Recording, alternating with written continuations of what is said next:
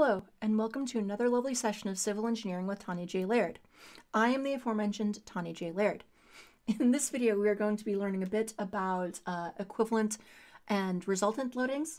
In other words, if you have a distributed load applied to a beam or a column or other structural element, how we can go and approximate that as a single point load. So we're going to be looking at the resultants of distributed loads, replacing them with point loads. We're going to do a bit of review of statics, looking at how we do those, uh, how we find equivalent loads, where we place them, and most importantly, uh, when we can use these. Uh, what there are certain cases where you can use the resultant force procedure, and there are cases where you cannot be, you cannot use it. And we'll be investigating those in today's video. So let's look at resultants of distributed forces.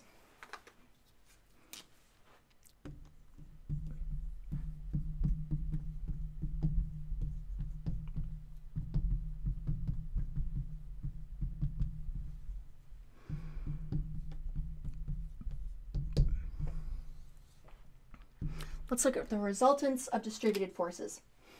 And this one's going to be fairly quick. The whole idea as a review from statics is that we are going to, uh, when finding the resultant of a distributed force, we apply an equivalent load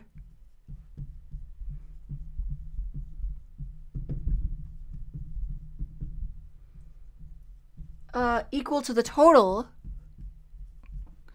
basically equal to the total uh, magnitude of the distributed load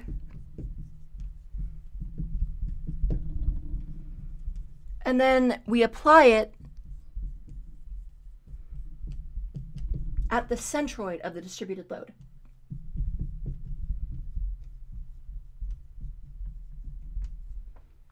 of that distributed load.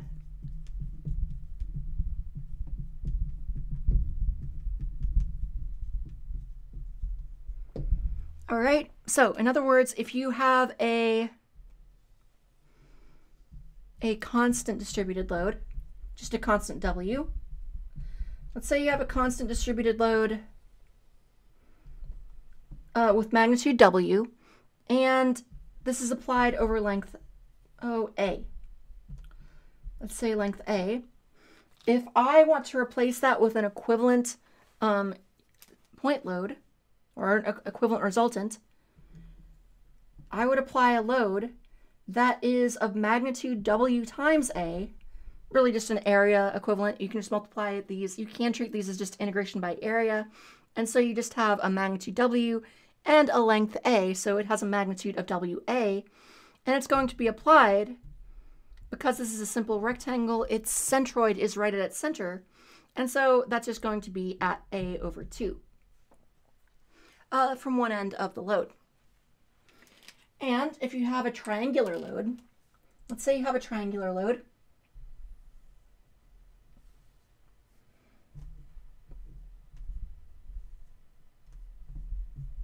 like so. And let's say it has a peak value W. And again, it has length A. Well, I remember basic geometry. I took high school geometry. So I know the area of a triangle is 1 half base times height. So therefore, the magnitude of a distributed triangular load is simply the, again, the area under the curve effectively. And that would just be length, you know, 1 half base times height, or WA over 2. Pretty simple. And if you do, if you run through the centroid calculation, you'll determine that this is located at distance a over 3 from the larger end, from the point from the side with maximum magnitude. Now, um, you can, if you wish, you can review the statics, the principles of statics used to uh, derive these via integration. You calculate, basically, you calculate the uh, first moment of area, and then you, you, divide by the magnitude to get the centroid. But um, if you want to, I would encourage you to review that. I'm not going to go too deeply into depth with that. In this class, you'll probably you will be fine just looking at the. Uh, as long as you can read and interpret a centroid table, uh, you you'll be fine in um, you'll be fine uh, working through the course material. So there are tables you can find, uh, beam tables and such, and just or you can just Google uh, centroid uh, tables that will show you the equivalent um, the equivalent uh, point loads for a series of distributed loads. Also, I would like to note when and when you can and when you can't use these.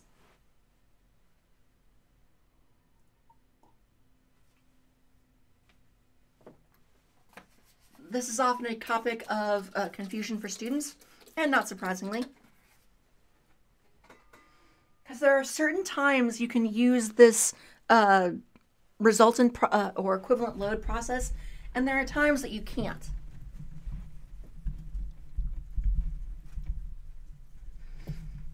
And eventually, with practice, you'll just get an intuitive sense of it. But for now, I'll give you some guidelines.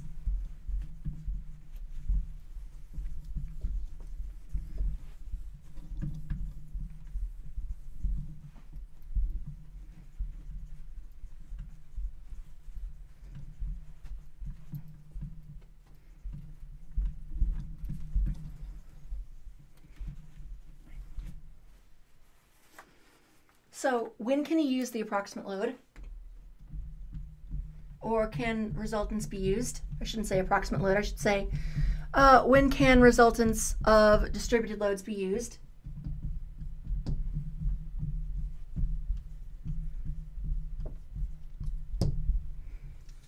Well, what they are primarily good for is finding uh, end forces or restraining forces.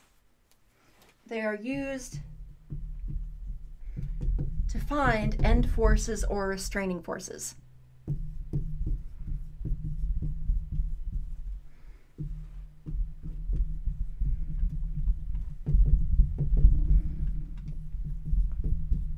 In other words, if I have a beam, let's say I have a beam, and I have some sort of distributed load W, and that I would have the function for it, W is a function of x. Um, and I wanted to know, let's say, AY and BY. So let's say, again, let's say I have a distributed load and it's varying as some function of x that could be triangular, it could be constant, it could be parabolic or whatever it may be. If I want to apply statics to find the end forces, um, let's say, or let's just say I have this. If I want to find let's say I want to find AY and BY, then yes, can use um, resultant method.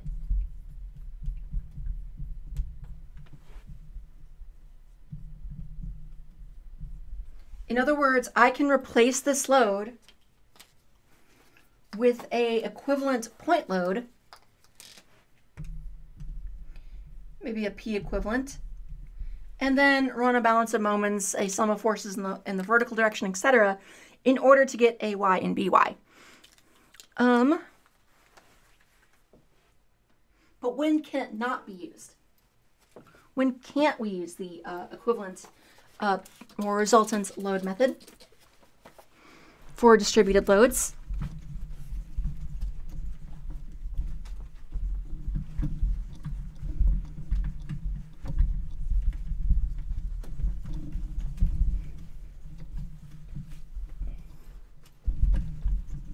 Let's see when we can't use this.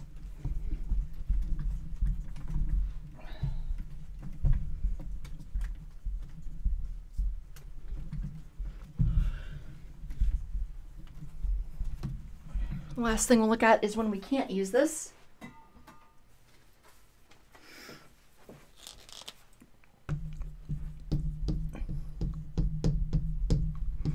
And primarily when we want uh, to find anything uh, internally about the beam.